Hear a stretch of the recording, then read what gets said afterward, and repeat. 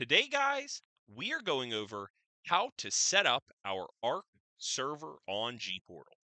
Now, first off, we need to buy a server.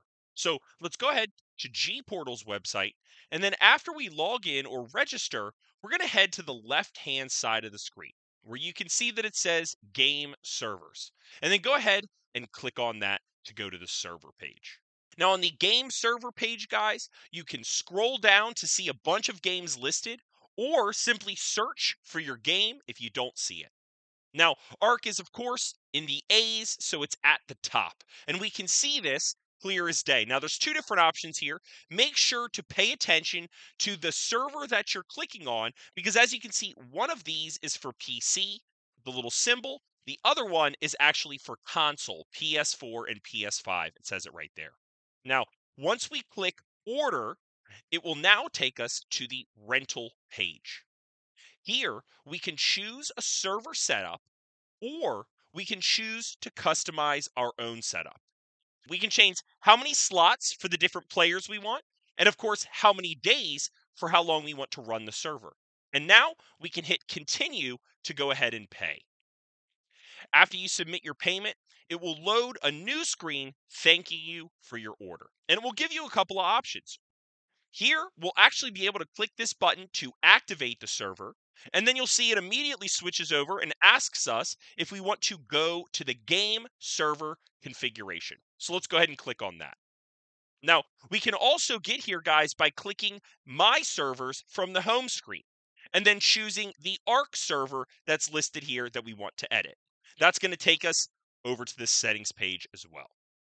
Now we head to the left hand side of the screen again, and this time we're going to click Basic Settings to load in a new page.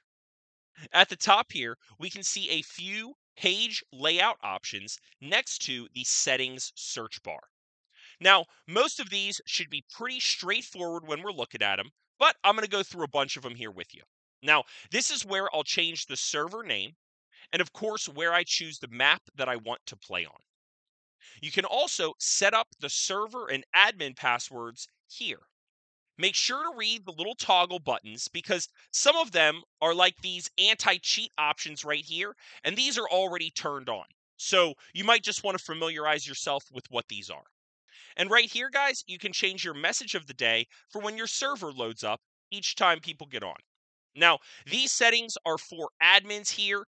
Ban list, for example, or whitelist if there's specific people you want to make admins or add to the list to get rid of. The Force Dino respawn button here is actually a useful one for me and one that I recommend using all the time just to make sure to keep those dino spawns fresh. The broadcast message is for a server restart if you want to let people know what's coming.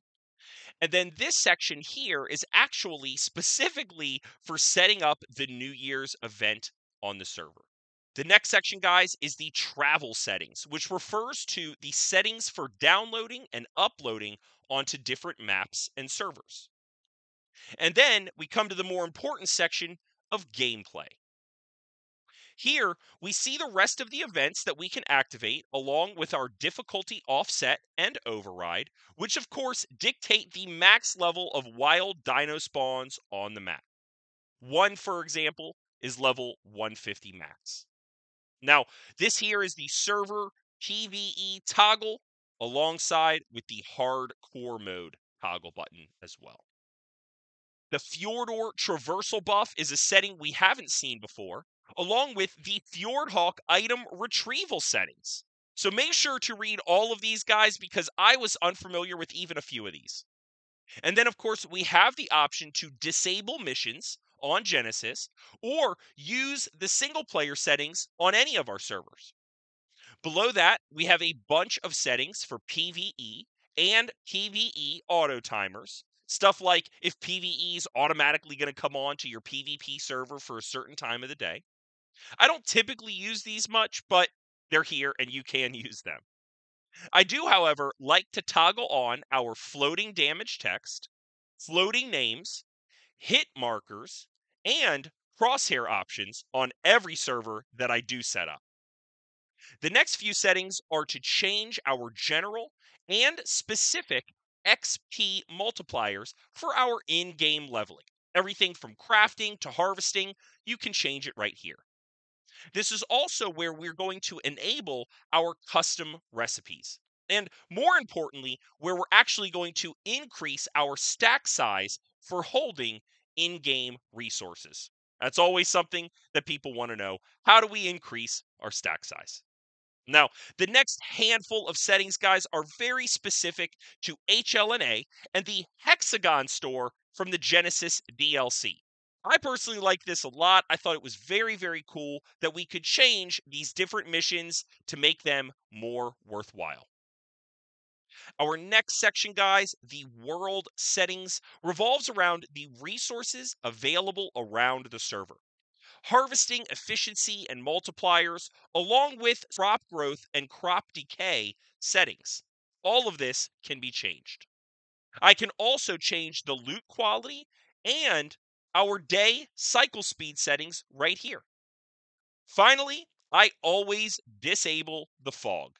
Nobody likes the fog. Next up, guys, the structure section gives you control over the building settings on the map where you can build, where you can't build, and of course, the strength of the structures you do build. Most of these toggle buttons are for decaying and or abandoned structures across your server. Make sure to check these out, but it's really more for server maintenance to prevent lagging. I do like being able to disable the structure pickup timer right here and change the battery slash fuel consumption multipliers here at the end of the section. The character section up next, guys, will give you the ability to make character adjustments. The first few settings adjust our health, damage, resistance, and stamina. But as we can see, more toggles all the way down the line. We have toggles for corpse locator, the map player location, enabling third person mode. All of these I find extremely useful. And in this area, you can switch on diseases, unlimited respecs, friendly fire, or even creative mode. Like I said, full character control. This, of course, brings us to the dino settings section that we need to set up as well. Now, the first couple settings are for taming. I love that we can adjust the passive feed timer. That is new to me. I really like that. And of course, we have our normal mating settings listed here below. So we'll recognize how quickly they mate, how frequently they mate, our egg hatch speed, and our most important settings the baby mature speed, cuddle interval multiplier, and the baby imprint amount. These guys do need to be changed just like this to make sure that you have quick breeding with easy 100% imprints. I skip over the remaining baby settings to the regular dino settings here, where again, we can deal with changing their dino damage, resistance, stamina, food, torpor, even how quick or how slow they lay eggs and poop. Complete control over the dino settings, guys, no problem. Make sure to look through all of them, though, when you're setting up your server, just in case. Now, the next little section, guys, is specific to mods, but not too, too important for our setup in particular. Now, the chat settings are listed here, guys, for you to check out. And then finally, the procedural section we will skip completely. Now, we can head to the top of the page and click the Save button. On the left hand side, we can click Engine Settings to make additional changes to our server. Change any of these stat multipliers listed to change the base stat setting on the server. For example, if I changed the player weight, the character's base weight would start much higher than the normal 100 you usually start with. Remember to save changes that you make on this page or it will not apply to the server. Finally, guys, under the content section on the left-hand side, let's go ahead and click mods to head to the mod setup page. Now, when we scroll down, we can see the different mods listed to install. Also, search for different mods like this. For example, Dino Overhaul X pops right up. We can click install to move it to the installed mods section, and then click active toggle button to enable the mod on the server. From there, guys, just restart your server and you're good to go. Now, guys, to join the server directly, click Join Server at the top of the page. Now, this will take some time and it basically starts a series of loading pages. First, it's going to load the Ark game directly on your home screen. And then once the game is loaded, it's going to automatically jump you in to attempting to join your server directly. And this message box pops up here for a little bit, and then eventually it will take you to the normal load screen that we're used to before seeing our character setup page. And of course, you can also find your server by clicking join from the home screen. Now, from here, guys, you need to choose your map, make sure you're not on official servers, all of that kind of stuff. And then you just have to let the servers load in. This is going to take a ton of time, especially if you just set up your server.